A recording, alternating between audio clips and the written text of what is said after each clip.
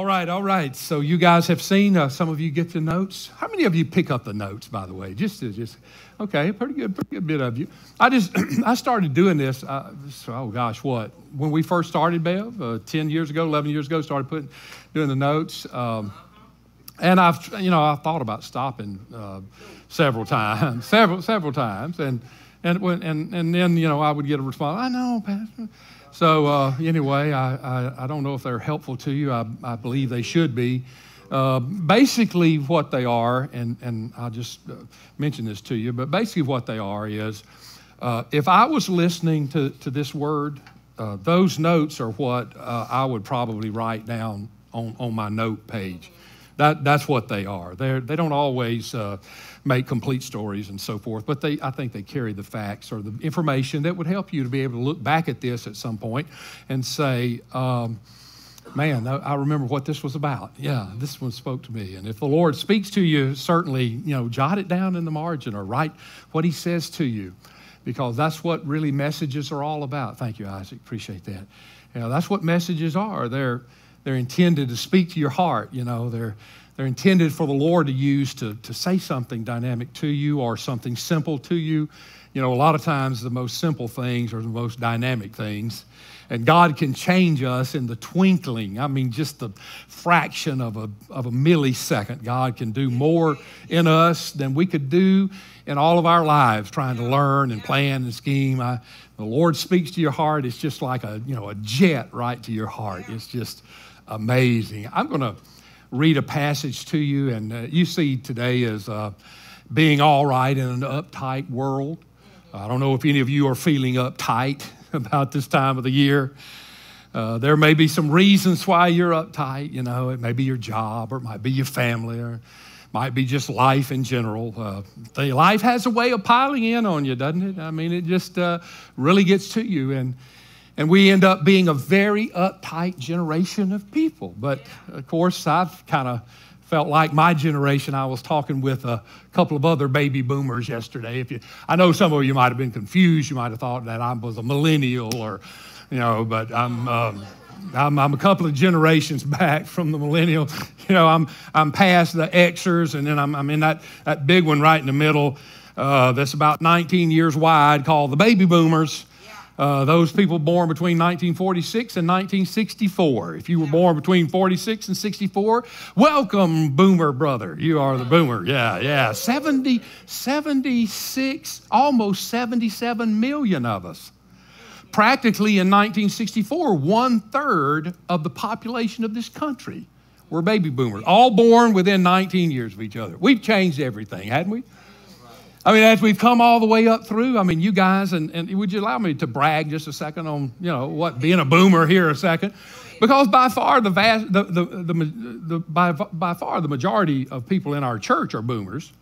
Uh, the majority of people almost anywhere are boomers because one third of the population of the country at the time were all within that population, you know. So as we moved up through, we just changed everything. Man, there was no rock music until we came along rock music, you know, I mean, of course, the rock music we played back then, they play in elevators now. So, I mean, there you go. You know?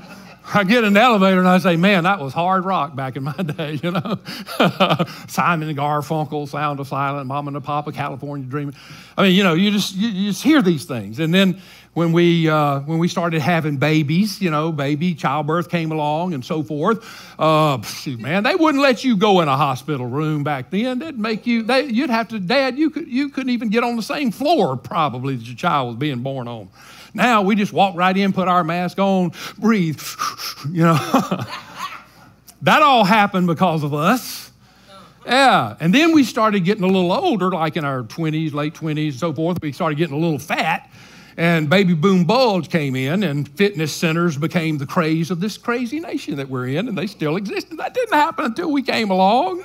Yeah. And now that we're getting older, by the way, the youngest ones are 55 and the oldest ones are about 72 right now. So that gives you an idea of where we are. And now nursing homes and retirement villages and, and, and pharmacies, because we got to have our drugs, man. I'm serious. Boy, we, we getting old and we gonna get those drugs. I mean, buddy, we gonna, we're not gonna suffer unless we have to. And And uh, we grew up, man, we were a generation of over expectors, you know, if that's a good word to use.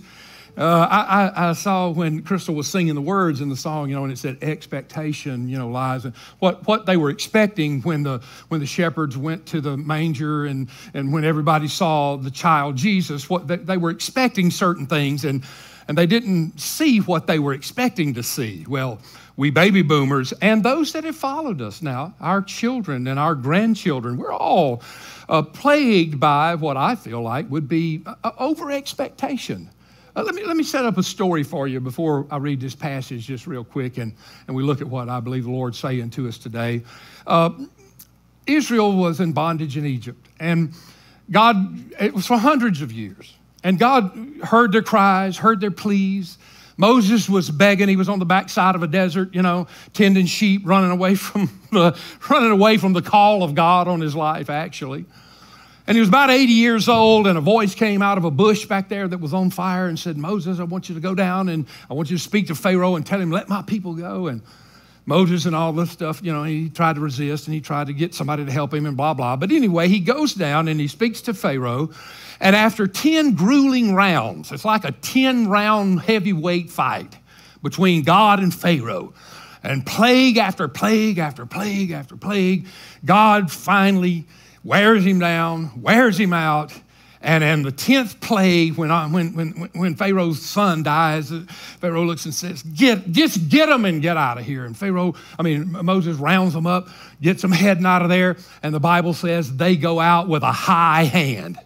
In other words, they're going out of the city giving high five. Yeah, yeah, we're I mean, happy, jubilant, excited, all kinds of expectations about what was going to happen because the children of Israel had been given a promise from God.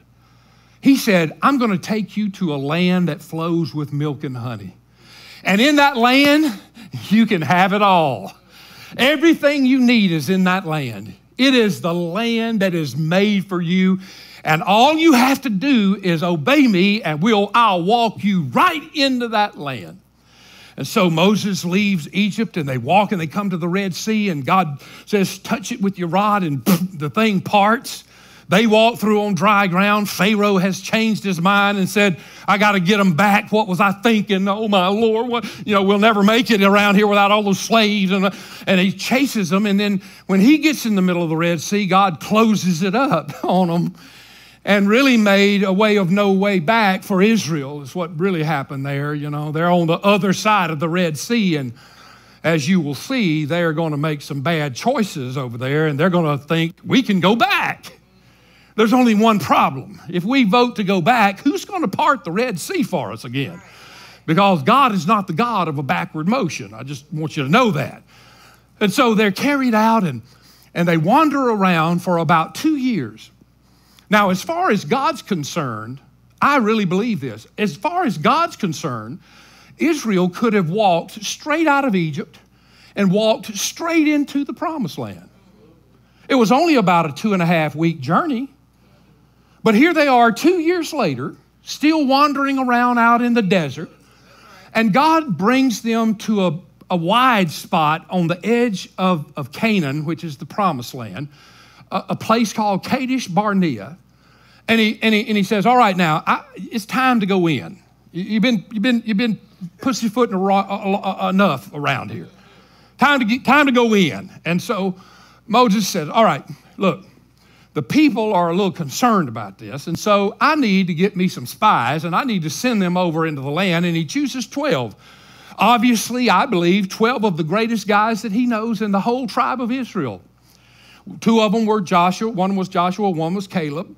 And then the others, you know, they were great guys of their tribes. And, and he says, All right, now go over into the land and, and bring us back a report and, and tell us about this land. He's hoping to encourage Israel. He's hoping to fire them up. He's hoping to get a report back that is going to encourage them to just walk right in, believe God, walk with God, go into the land and have it all.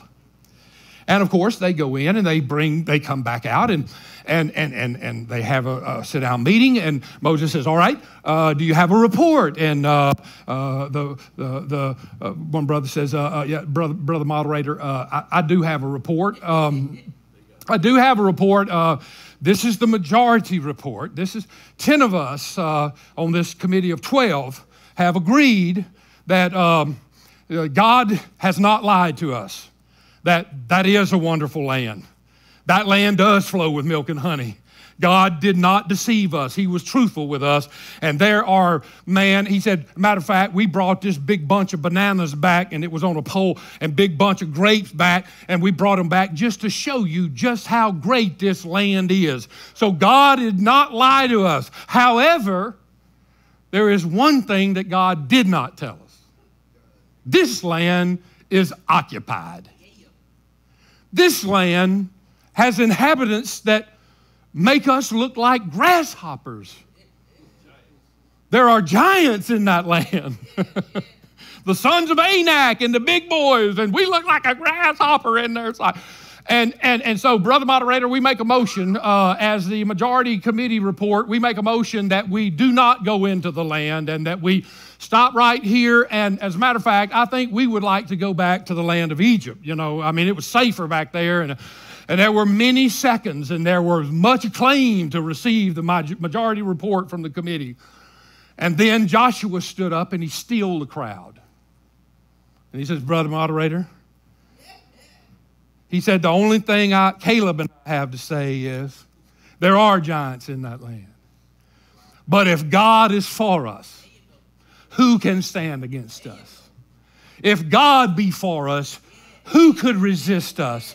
And we vote, brother moderator, that we go ahead and take the land. Yeah. And the people bowed their head, and the people turned their backs, and the people said, uh, mm, let's stay right here. And here's a part of the story that gets forgotten conveniently. When they take that vote and they say, let's go back, and we're going to dump Moses as a leader because, after all, he's not much of a leader leading us out here for two years. We're not even in the land. He leads us to a land where the giants are going to kill us. So I vote we, I vote we replace Moses as leader. How about everybody who's for that? And they have a whale of a time criticizing Moses. Moses' own brother and sister criticizing. Makes God hot. God is beside himself. And God says, Moses, get out of the way. Get out of the way. I'm through with this bunch, this rebellious bunch right here. He said, I'm fixing to turn them into crispy critters. Move. Get, them, get, them, get out of the way.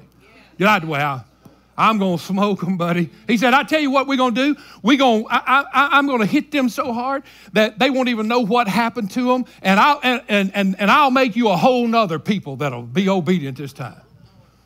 And Moses looks at God. This is one of the strangest conversations in the world. Moses looks at God and Moses says, Well, God, you need to think about this. Yeah, yeah, hold your roll.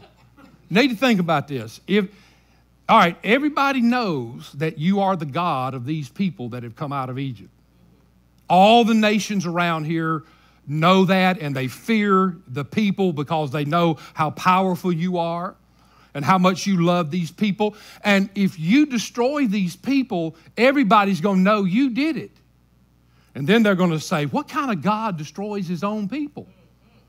What kind of God makes a covenant with them and then destroys them? And you'll be known as a God who doesn't keep his covenant. God, please forgive them. Please don't destroy them. Moses, please I mean, Mo, look, Moses is at the top of the criticism list. They are dogging him about how sorry he is and neglectful he is, and he's not any kind of leader. And what kind of general would do this? And he begs for them before God. And God forgives them again. And then, and then, a few days later, they get to thinking about this thing. And they say, mm, you know, maybe we need to reconsider this. You know, that land over there flows with milk and honey. That is a land where we can indeed have it all. So, on second thought, I think we might ought to go back over into the land and take it. Who's with me? Oh, much acclaim. And then they come to Moses and they say, Moses, we have reconsidered our decision. We have made another choice, is basically what they've said to him. And here is what happens. Then Moses told these words to all the children of Israel, and the people mourned greatly. what Moses is about to say to them is not going to make them happy. And they rose up, the people rose up early in the morning, and they went up to the top of the mountain, saying, Here we are, and we will go to the place which the Lord has promised, for we have sinned. In other words, Hey, we sinned when we said we wouldn't go in, so we've had a second thought about it and we've come back and we want to go into the land. And Moses said, Now, why do you transgress the commandment of the Lord? For this will not succeed. Do not go up, lest you be defeated by your enemies, for the Lord is not among you. For the Amalekites and the Canaanites are there before you, and you shall fall by the sword. Because you have turned away from the Lord, the Lord will not be with you. But they presumed to go up to the mountaintop. I love the way the scripture phrases that. They, they presumed. They thought, well, we're special. We're, he wouldn't do it to us. After all, we are his promised children. God loves us. God made a covenant with us.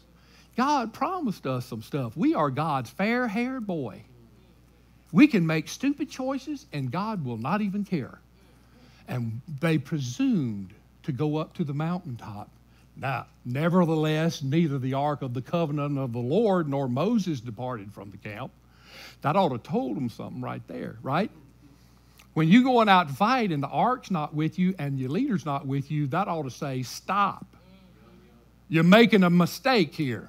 Then the Amalekites and the Canaanites who dwelt in that mountain came down and attacked them and drove them back as far as Hormah. Just routed them. This is an example of a people who believe that they can have it all. Who says you can't have it all? that seems to be the theme of our generation, right? And the generations that have followed us. That was a question put to us, all of us older boomer kind of guys. You'll have to forgive me, young people. If you don't understand any of the some of the things I say, just ask your parents when you get home. But that was a question put to us as a generation back in the late 80s by Michelob Beer Company. The question, you know, you remember this, the commercial? It was this very successful looking person on TV and they were dressed nicely and they had this wonderful voice and they said all of these things and then and then and then they held up that and they says, "Who says you can't have it all?" And that kind of sums up the, the, the thought of our generations and the generations that have followed us. Who, who, who says you can't have it all? I mean, after all, you know, we have changed everything in this whole society. The, our whole country has changed to accommodate us. We have done things that people said could never be done. We have accomplished things that people said are way beyond anything that you can comprehend. All of the things that we enjoy, or most of the things that we enjoy now, had its beginning with our great generation. We are a wonderful people. We are a blessed people. We are a driven people. And who says we can't have it all? So, why are we so uptight? Uh, we're, we're, we're so uptight because we're a generation of over expectors. I mean, like Israel here in this passage of Scripture. Israel thought, hey, we're special. Israel thought God made a promise. Israel thought all we have to do is walk over into the land. We just we just leave, we walk in there, God's going to protect us, and everything is going to be wonderful when we go into land. They only made one mistake. And that is they forgot that they had been disobedient to God. And they thought, in spite of that, God was going to bless them and protect them and go with them, just as if they had never made a, a bad choice, a poor choice. They, here's what they did they centered in on the honey part, the promise part, and they conveniently forgot the bees part or, or, or the responsibility part. And we read their story, and I guarantee you, you were thinking as we were reading the story, don't do it. it's not going to turn out good. You were thinking when you read the story, why would they? Those people are nuts. I mean, what? Moses is standing there telling them, don't do this. God is not with you. You are thinking poorly. And yet they just continue right on as if everything's great because their expectations were no matter what we do, no matter how we live, no matter how, what we do with God, God is going to bless us in spite of ourselves. They were over expectors just like us. Now, when we read it in black and white, it's very easy to see, and we become very critical of those people by looking at them and saying, Man, who in the world would have ever done that? What would make them think that they could just turn their back on God and, and there was not going to be any consequences of their turning their back on God? Why would they think like that? I've got a better question. Why do we think like that? Why do we believe that in our lives, you know, God has made promises and we can make any kind of choices that we want to make and, and, and, and, and there will be no consequences of those choices. How did we get to be a, a, a generation of over expectors? Well, there, there, are several reasons, I'm sure, and many, many sociological and psychological reasons, which I'm not a sociologist or a psychologist, a psych, psychologist, psychologist.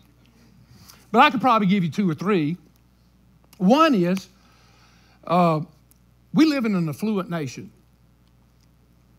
Our poorest people in this nation are richer than most of the people in this world.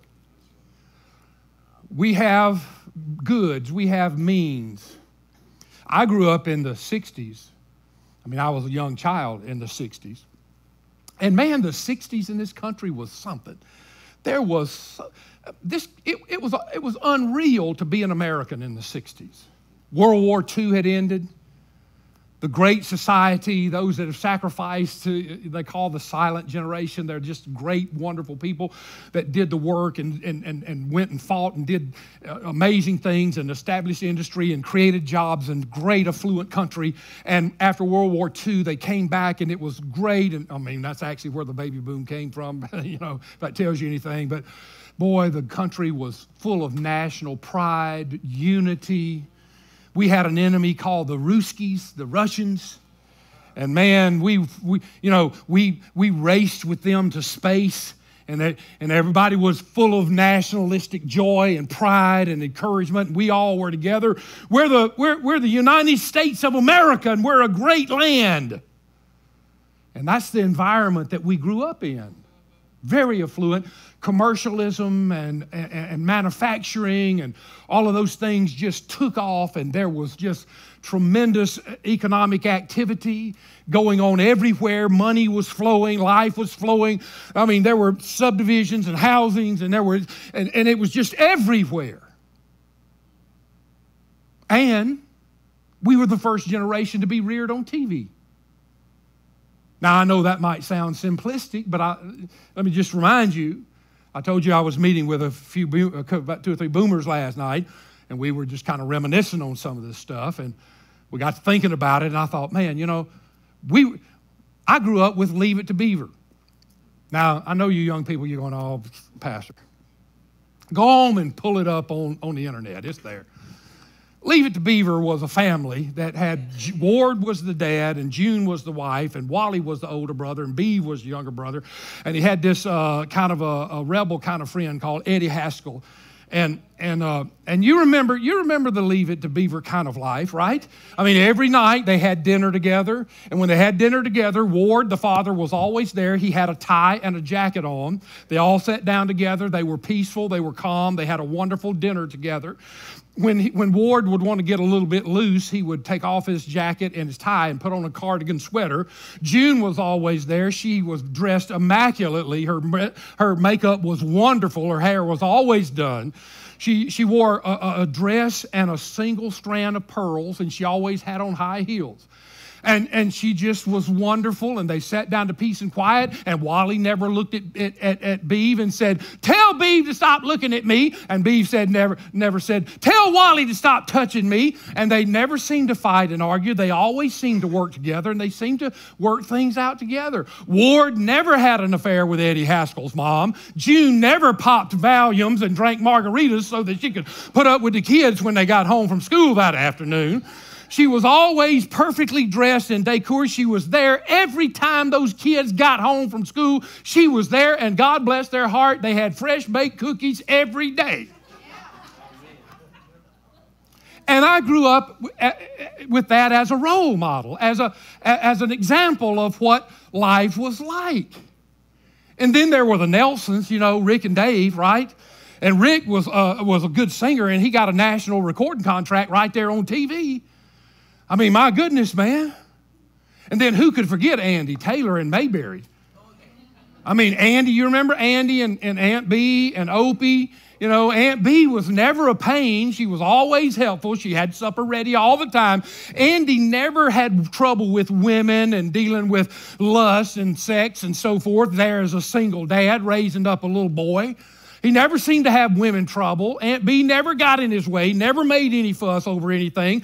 And he always had the answer to everything, no matter what was happening. He was so wise and brilliant, he could solve it in 27 minutes and have three minutes for commercials. No matter. No matter what problem presented itself, the problem was presented, the problem was solved, and, it, and everything, and, and they all lived happily ever after every episode. He even knew what to tell Opie when Opie was being harassed by the town bullies calling him Dopey Opie. He had all the answers. Everything was great on TV. All the problems worked out. Everybody lived happily ever after. The families were great even when they were single parents. I mean, my goodness, no dad ever had boys greater than, than, than, than Adam Hoss and Little Joe. I mean, Hoss might have had an eating disorder, but that, I mean, but but he was a good boy. And man, old Ben never ran into problems out there on the Ponderosa. He was a single dad and he raised those boys and they knew right from wrong and they did right and they were good. And no women ever came out there and stayed overnight in some kind of sexual liaison with old Ben. And he never seemed to be frustrated and agitated and annoyed by not having relationships like that. And I'm just, uh, you, you, you see what I'm saying? Yeah. I'm just saying that we're so uptight because we over expect because the things we've been fed aren't real. And they, right, they still aren't. I mean, uh, you, right. McDonald's says, uh, what? Have it your way. No, that's Burger King. McDonald's says, McDonald's says you deserve a break today. Uh, Burger King says, have it your way. Nissan tells us we're driven. And Michelob says, uh, who says you can't have it all? Reality does. Common sense does. But we still expect it. Even though we know it's not reality, we know it's not true. Common sense says nobody lives like this. Your life can't be like this. Everything's great on TV, but it doesn't work out like that in life. Eventually, life comes up and slaps you right between the eyes and the reality of life, you realize uh, uh, I can't pay all the bills all the time. The house never stays as clean as I get it. Uh, the kids are, are trouble or mess. Somebody's got bad grades. Somebody's flunking out. Somebody's having trouble. Somebody's on drugs. Somebody, I mean, we just, the realities of life just get in and mess up everything. And yet, in our hearts, deep inside of us, just like Israel here, just like Israel, we still think we can have it all. So, what happens when you want to have it all and you can't have it all? You get frustrated. So, if you can't have it all, what do you need to have? There are three things. Let me get them. I got them right there for you. I'm thinking, you know, here's the first thing. Number one, you must have a sensible concept about life. God said, I want to give you the greatest land that you have ever had. I want to give you a land that is so wonderful you won't even believe it. And they looked right straight at God and they said, No, God, we're not going to take your land. We want to do things on our own. We want to, we want to do things the way we want to do it. And, and, and here's an elementary principle when you make choices, you have to live with the consequences of those choices. Now, now, can we all agree that this is not a complicated principle? Can we all agree this is a very elementary thing? That if you make a choice, God gives you the right to make a choice. But you do not have the opportunity to choose the consequences that follow that choice.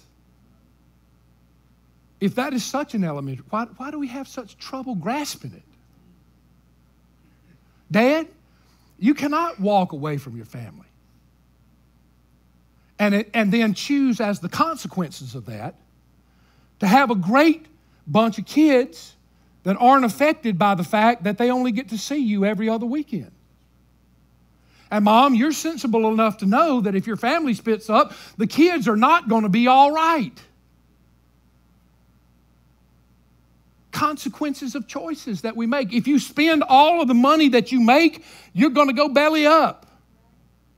You cannot live spending more money than you're bringing in. The consequences, you have the right to make a choice, but, but you don't, you know, you, you can't choose the consequences that follow the choice. And this is very tough for us because we're a generation of over expectors.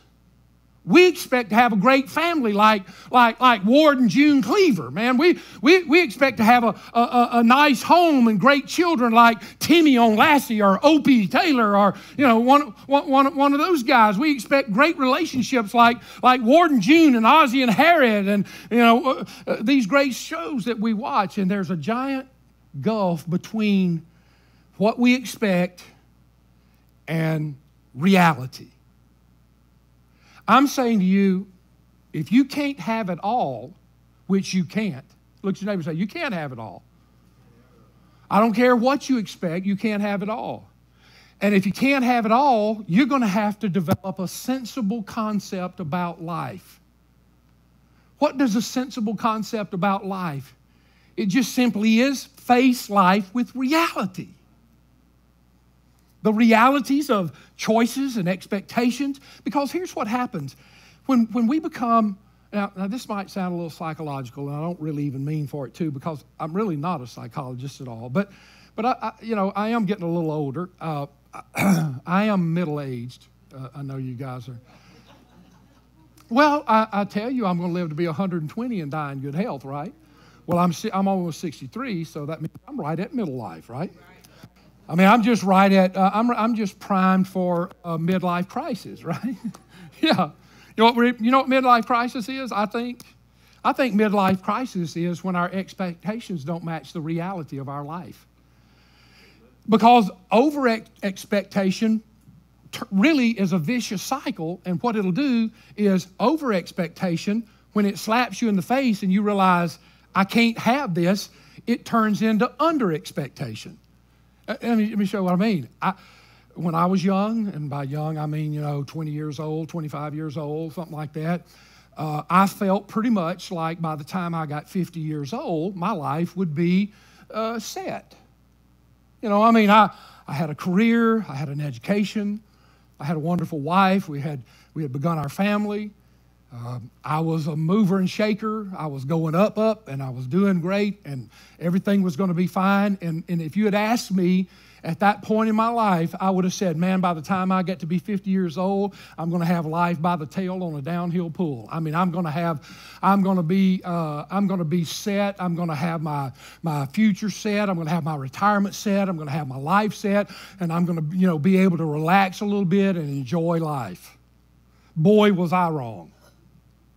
Life didn't turn out anything like I expected. And so, what happens when life doesn't turn out like you expect, sometimes you just flip right over diametrically. You said, if I can't have it all, man, bless God, I don't want to have anything. And so instead of instead of continuing to work and challenging and, and, and, and being grateful and thankful and hardworking, and I, I, I come to the attitude, uh, no, do you used to do that. I've done all that. Doesn't do any good. I can't do it. I don't care how much I do. Those kids are still going to drive me crazy. I don't care. We spend money. I can't make enough money. I mean, your over expectation turns into basic underachievement and under expectation. And instead of trying to clean up the house, mom, you just basically say, those kids, they just mess it up again anyway. I ain't no use to do that. Man, if they want a hot meal, let them set the cornflakes on fire. I'm dead. I've had enough of that, and all you want to do, and all you want to do is sit on the couch with a channel changer in your hand. What I'm saying is, if you can't have it all, and you know, and you're not going to be uptight in this crazy world we live in, you must develop a sensible concept about life. And the sensible concept concept about life is that the reality of life is not the way we expect it to be. And when we make choices, those choices have consequences. And we are going to have to live with the consequences of our choices no matter what we expected when we started. Very simple, very, very elementary. A sensible concept about life. Here's the second thing I must develop a sense of, con- of contentment. And I've got those three things written under there, and there are blanks in your notes. I must develop a sense of contentment. You know, because no matter how much you have, if you're not content, it doesn't matter how much you have, right? I mean, I could have everything in the world, and if there was no contentment inside of me, I would still be driven. I would still be anxious. I would still be running like a chicken with my head cut off, trying to get more, get more, get more. You know, nowadays, the theme of life nowadays is uh, we want the best. We want the best. We want the best house, the best car, the, the best family, the best uh, uh, property. Uh, we got to have all these gadgets and gizmos and trinkets, and you know we got to have everything that slices and dices and mixes and juices. And uh, I mean, we got to have it all, man. Just so discontent, as if somehow getting some more stuff could make us happy and content in life. And the world just pushes us toward that all the time. There's an entire industry in this country that is created to make you discontent. It is called the advertising industry. The advertising industry's job is they wake up every day saying, How can I make them dissatisfied with their life? How can I make them dissatisfied with the things they have so I can introduce some new things that they will buy and I can make some money off of them? So they wake up every day trying to think up ways okay, how can I make them discontent? If you can't have it all, you got to have a sensible concept about life and you got to develop a sense of contentment. You can always spend more than you make. I don't care how much you make. So, at, here are the three things that, that, about contentment, and, and these are the three things that you got to understand in order to be content. Number one, activity does not equal accomplishment the busier I am doesn't mean the more I accomplish. Having a busy schedule and a hectic life doesn't mean you're successful. As a matter of fact, it's just the opposite of that, really. You've heard the old phrase that goes on the refrigerator the hurrieder I get, the behinder I am, you know, something like that. Yeah. And so there are many people that believe that, man, if I can just keep my life going, fill my appointment schedule, uh, keep myself busy, keep going, do this, work in that club, be that down at the school, do this with the PTA, get on the golf committee, you know, get into a country club crowd, uh, get at church, do, I mean, and life just is helter skelter, moving everywhere, activity, just filled with activity somehow. Uh, I can be content because I'm doing everything I can do and I'm successful in life. Fight that feeling. That is not true. Activity does not equal accomplishment. Second thing, accumulation does not equal accomplishment. If accumulation meant you were accomplished, then people with yard sales would be the happiest people on the face of the earth. Right? Because they have garages filled with junk they can't sell, and they got sixty, seventy thousand dollar cars sitting outside in the, in the weather, right? Because there's so much stuff. We've accumulated so much stuff. We got to have it all. We got the gizmos and gadgets. Uh, so realize in order to develop a sense of contentment, here's what it takes. Realize my life doesn't have to be so busy in order to be successful. I don't have to be going every moment of the day, every time I turn around, in order to be content. Sometimes I need to go sit on the back porch. You built the thing to sit on.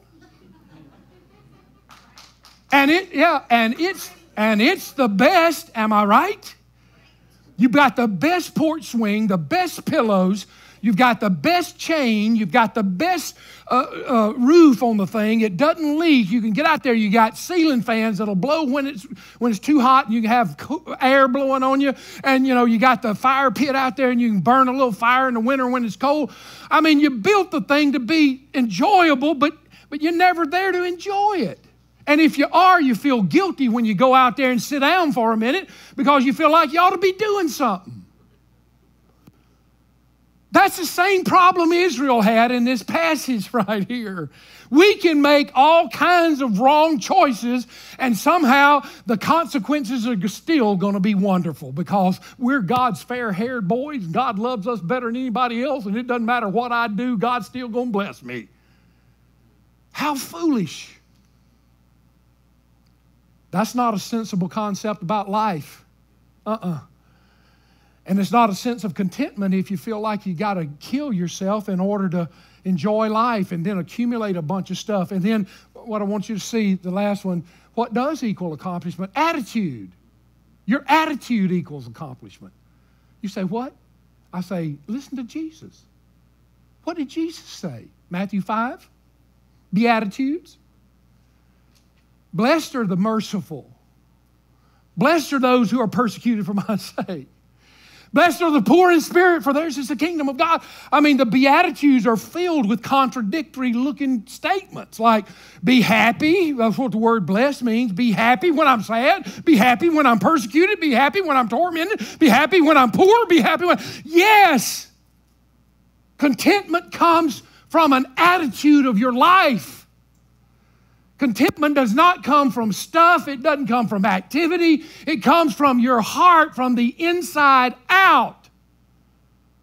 Have you ever seen somebody that didn't have anything and all of a sudden they got a few resources and they built them a new place and they and it was beautiful and wonderful and it had all of the elaborate things and it was brand new and it was sparkling and it was shiny and it was clean and it was nice and everything else and then about 6 months later it looked like a pack of pigs moved in there and and it it was nasty and cluttered and just uh, it looked like it, it, it a run down place. What happened? What happened is you can't be changed from the outside in. New house ain't going to do it for you. New car not going to do it for you. If you don't change the inside, that new stuff will be the same as your old stuff in just a short time. It's the you got to change the inside. It's from the inside that you get changed. And so I must develop a sense of contentment. Let me give you one last little thing. You guys all right? Okay, I'm, I'm not slamming you too bad, right? Okay, well, maybe I need to try harder. All right. Number three. Number three. You must develop a sensitivity to the things that really count.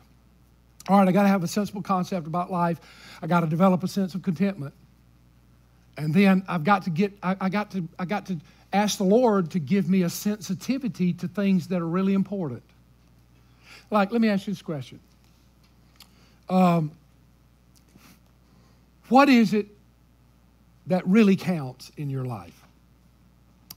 Or let me, or let me put it this way 150 years from now, what is it that's going to still be with you? Your faith. 150 years, your stuff's not going to be with you. Because I'm going to let y'all know something. I've been pastoring for 43 years, I've done hundreds of funerals. I have never seen a hearse pulling a U Haul. And I've never seen a, a casket with pockets all over it. You know why? Because you can't take it with you. 150 years from now, the only thing that's going to be with you is your faith and where it takes you. I don't care if you have billions of dollars like Howard Hughes. Somebody asked, How much did Howard Hughes leave? And the answer is, He left it all. Or if you drive Rolls Royces like J. Paul Getty, or you have a big mansion like Elvis Presley, or you have multi million dollar outfits like Liberace, or you have a circus at your house like Michael Jackson, or you have recording studio, studios called Purple Rain, you know, I mean, like Prince. You know where all they're gone, and all that stuff is still left. When it's all said and done, all that really counts is your faith. I am convinced that the reason God puts us here on this earth, the reason God allows us to be born onto this earth, is to give us an opportunity to decide where we're going to spend eternity. I don't care if you live 25 years, 50 years, 100 years, 150 years. That is an opportunity for you to decide where I'm going to spend eternity. Because no matter how long you may live, it's just a whisper of time in connection with eternity. And God says, I want you to make a choice, and the consequences of your choice are going to determine your destiny. You see, our crazy world teaches us that chance determines destiny. What star are you born under? What's your sign? What's your fortune? What kind of genetics? You, this world says that, that, it's, that, it, that, that, that it's chance, that it's luck that determines our destiny.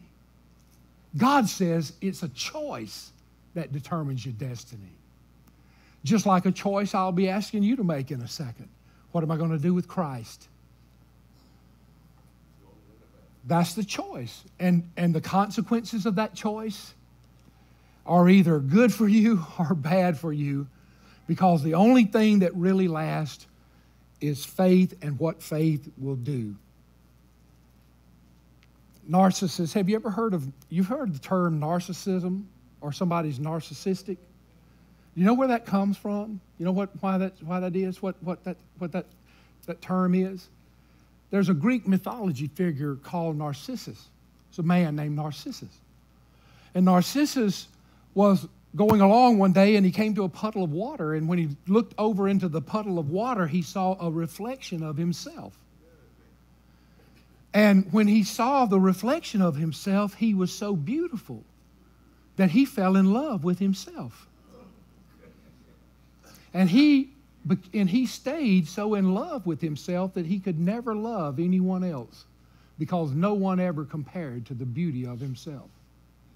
That's narcissism. That's thinking only of yourself. God says, look, don't live life like that. Life is bigger than you. Life is greater than you. And choice, you have choices to make. You can't have it all, but you can have what God says you can have, and that is a relationship with Him. So, whatever it is that is that interferes with your fellowship with Christ, pride, money, uh, uh, rebellion, what, uh, disobedience, whatever it might be, what, inter- what interferes with your relationship with Christ, has to be put out of our life, and we make a choice because those things are going to lead us to destruction. We, we, we read about we read about, uh, about Israel, and everybody said, Man, they're going to get it. Oh, I can see the handwriting on the wall. It's going to be terrible. Yep, that's right. Because they, they disobeyed God. What kind of idiots are they to think that God's not going to, you know, it's not going to be some punishment to go with that. It's not going to be, God's not going to bless them like He said because they didn't obey. They made a bad choice. And then we make bad choices and we expect great outcomes. No, no, no, no. You get a chance to make the choice, but you don't choose the consequence. I'm just saying, choose wisely. Look at your neighbor and say, choose wisely. All right.